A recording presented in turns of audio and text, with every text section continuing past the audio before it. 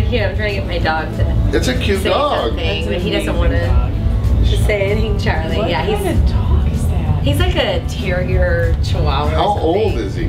He looks a lot older than he Right, is. he's He's got- like six years old. But I know. Yeah, I, I, I'm just staring at him now because he's so Isn't he cute. awesome? Wagging his tail. But what poster did you say you licked before you went to bed? You kissed it. Uh, I don't remember. Was it Jonathan Taylor Was it like or I in it totally says, or kissed. it's I like kissed it's the like- corner of my wall. I'm thinking about Jonathan Taylor too. yes, I think that's what. So anyway, Baking with Bethany. If you missed it uh, and you want to see uh, Yeah. the beautiful Mickey, you can go to YouTube, the WGNA channel, and you can It's on our YouTube find that. channel. It's one of the most popular videos. Actually, it is pretty it? popular. Yeah, it is. It's oh my pretty god, we were a mess.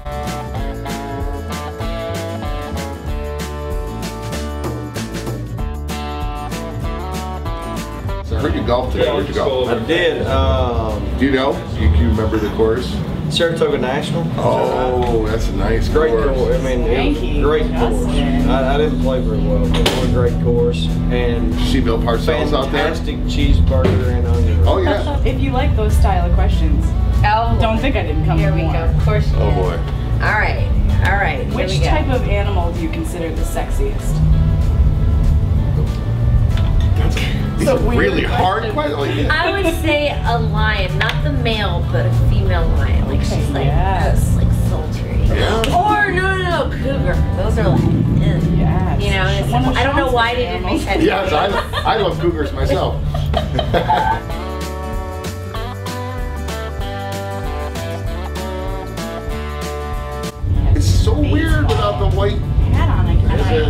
can Yeah, Weird, weird is how you would describe it. well, without my you know, vocabulary. handsome. I would say. Handsome. What's Right. under? Uh, Do you ever show? I have a lot of hair. He does. I, yeah.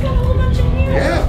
If you could duet with somebody, and that doesn't have to be them, anybody in country music right now, who, who would it be? Well, I get to do Whiskey Lullaby with Brad every night, so that's Right. pretty freaking awesome. Right now, I would say I would love to do a duet with Carrie Underwood. All right, they're making a movie about your life, and you have to pick some. You have to pick someone to play your love interest. Who are you gonna? Kellen Lutz from Twilight. I was just gonna say I am available. Wait a minute. I mean, I'm just saying. I'm from Central Arkansas, and we don't have any pro teams or, or uh, basically anything Any, else. yeah, really. I have a friend. I have a friend that lived the there for a while, and he's like, "Yeah, it's it's kind of quiet." It's all about the Razorbacks. Follow your heart or follow your head. Jeez, that's hard. If he's cheating on you, follow your head. Mm-hmm. Um,